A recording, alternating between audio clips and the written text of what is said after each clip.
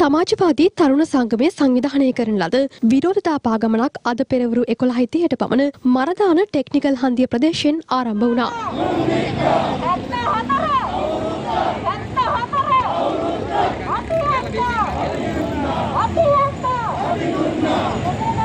Yankee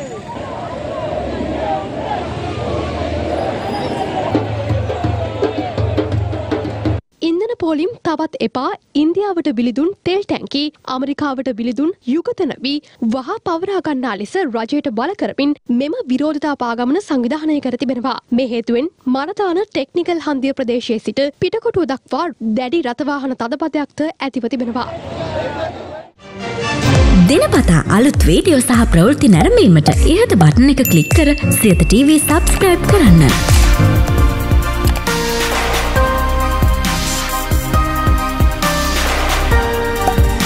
අලුත් video ගැන මුලින්ම දැනගන්න මෙම සීනුව කලික් කරන්න.